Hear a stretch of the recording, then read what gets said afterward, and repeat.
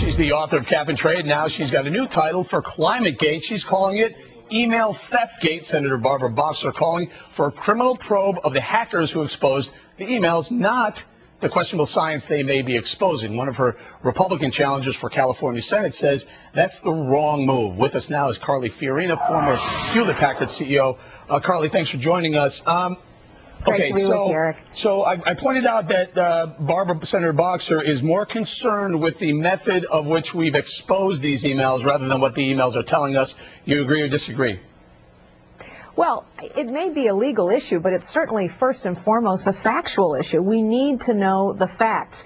And what I find so ironic about Barbara Boxer's outcry over this is that in 2008 she was accusing the Bush administration of a grand conspiracy to cover up global warming. She wanted to know the facts desperately then. Apparently she doesn't think they're very important right now when they don't support her political point of view. The American people deserve to know the facts, whatever they are, and wherever they point. So, um, okay, so now let, us just take your, your personal situation right here. You're the Republican, you're running for the Republican uh, nomination to the Senate. Um, who are you going up against? Is it, is it Chuck DeVore, DeVore? Is that right? I pronounced that name right? That's that's correct, yes. Okay, so I'm reading this, Carly, and I, I have to ask you this. You know, it, it's what I have to do. He's been seen as a, a, far more conservative, or he's at least portraying himself as a more conservative Republic, Republican than you. Do you see that as a risk?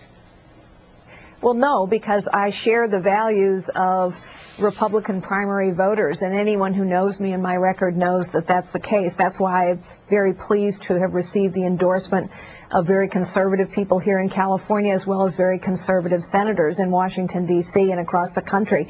I'm a fiscal conservative, I'm a social conservative. But I think the issue that you're talking about today is an example of why we need people with some real world business experience in the U.S. Senate. Global climate change, whatever the facts are, is an opportunity for mischief making.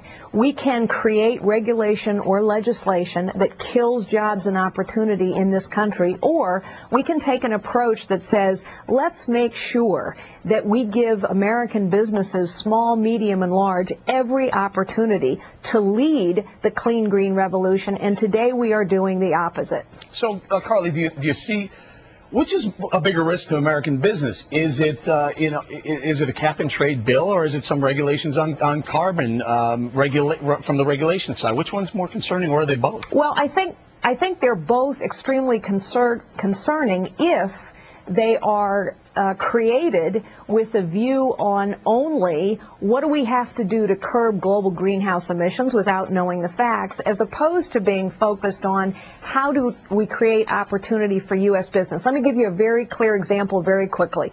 In Texas recently, a big wind farm was turned up.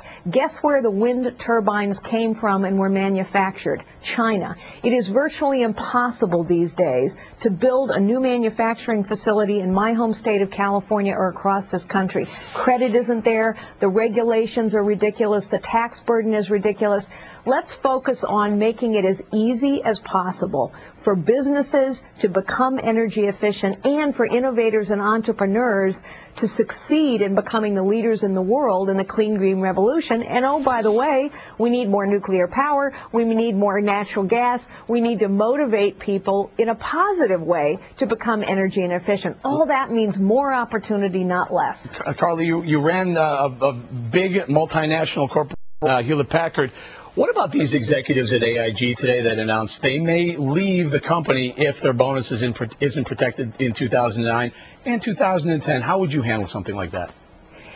Well, you know, first, I think business people need to understand why the American people are so outraged by some of these stories. I've written many op-eds on this subject.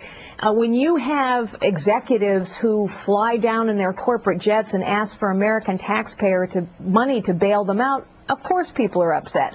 On the other hand, the private enterprise system works. Competition works. And we set salaries in this country based upon the private market the free market system. When the government starts getting involved and telling people how much they can make, that's a big problem. So People need to be rewarded for their efforts. That's what this country is all about. But business people also need to understand why taxpayers get outraged when they're making, you know, $100 million paychecks and still asking for taxpayer bailout money. All right, Carly, real quick, we're running out of time. I hate to do this here with, with so little time left. You're going to have to look uh, a little bit more conservative for your primary and then uh, move back to the moderate side for a run against Barbara Boxer. Is that right?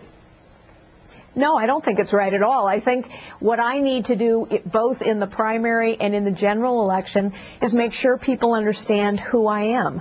I share conservative values. I am a fiscal conservative. And the reason that I can win in California is because the number one issue on Californians' minds right now, regardless of their party affiliation, is jobs.